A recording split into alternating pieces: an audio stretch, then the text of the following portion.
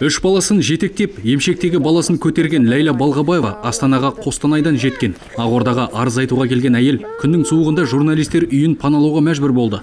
Пәтер кезегінде 2010 жылдан бері тұрған жалғызбасты ана биыл да тиісті баспанадан қағылайын деп тұрғанын айтады.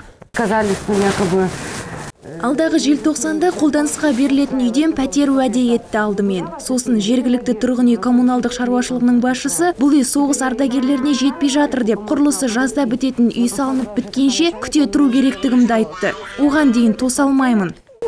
Этот, не можем вам выделить жилье. Жалғызбасты әйелдің үш баласы да гемофилия ауруына шалдыққан.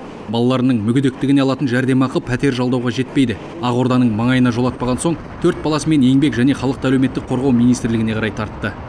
Я буду здесь сидеть, пока кто-нибудь из них осы жерде отырамын. Мүмкін біреуінің болсын мейірімі оянып бізге назар аударатын шығар. Осы жерде қатып өлсек те кетпейміз.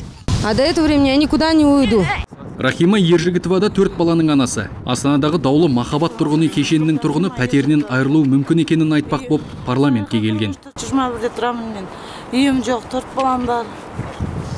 Үйім жоқ болғаннан осында осындай жетіп отырмын. Алайда сайлаушы депутаттармен кездесе алмады. Мемлекеттік мекеменің алдында заңсыз пикет өткізген үшін әйел полиция бөлімшесінде күнін өткізеді. Ал еңбек министрлігінің табалдырығынан да аттай алмаған қостанайлық ләйла балғабаева таңертең балаларын жетектеп ақорда жаққа тағы бармақшы.